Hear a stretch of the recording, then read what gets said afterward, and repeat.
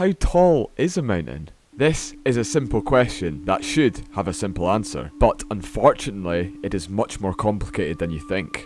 For starters, there is no worldwide consensus on the definition of a mountain versus a hill. And in the UK, we have over 30 different classification names for how tall some bit of land is.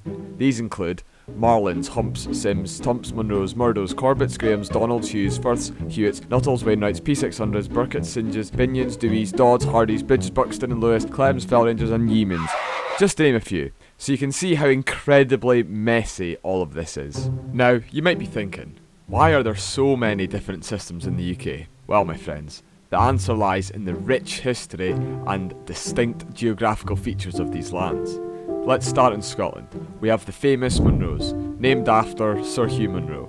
These are the peaks that are over 3,000 feet, or 914 metres in height, split into Munros and Munro Tops.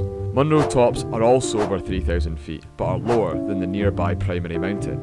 The Munro Tops have a prominence of less than 150 metres. Now let's take another more interesting one, a Marilyn. The name was coined as an ironic contrast to the designation Munro, which is homophonous with Marilyn Monroe. A Marilyn is a mountain or hill in the British Isles with a prominence of at least 150 metres. Many of the largest hills are Marilyns, including Ben Nevis, Scafell Pike and Snowdon.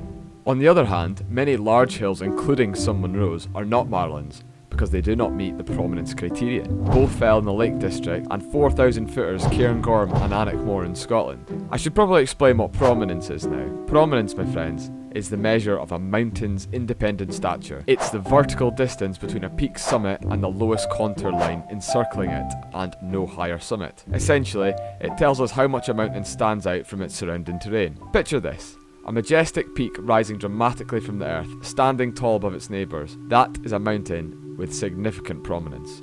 But when a peak is nestled among other high summits, its prominence might be less. So now back to the age-old question, what is a mountain? The truth is that there's no globally recognised standard for mountain classification. Each country or region tends to have its own criteria based on its unique geography and cultural heritage. But in Great Britain and Ireland, it is usually taken to be any summit with an elevation of at least 2,000 feet or 610 metres. But the UK government legally defines a mountain as land over 600 metres for the purposes of freedom of access. So the answer is either 600 metres or 610 metres, and I'll let you decide for yourself which height you should pick.